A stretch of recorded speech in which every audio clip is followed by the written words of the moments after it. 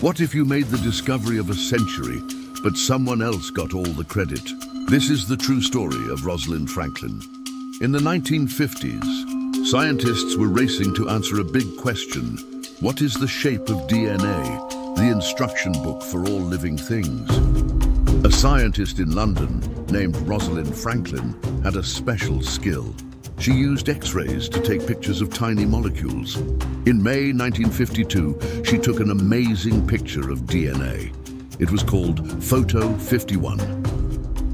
The photo showed a clear X shape. This was a huge clue. It proved that DNA was a spiral, like a twisted ladder.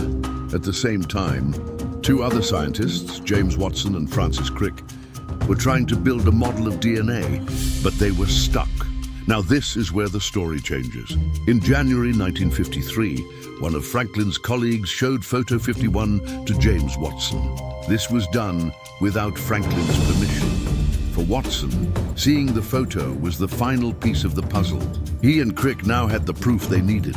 They rushed to publish their model of the DNA double helix in April 1953. Sadly, Rosalind Franklin died from cancer in 1958 at the age of 37.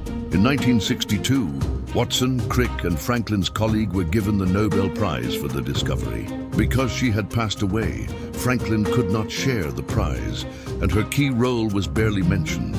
For a long time, her work was forgotten. But today we know the truth. Without her and her Photo 51, one of the biggest discoveries in science would not have happened when it did. She is the true unsung hero of DNA.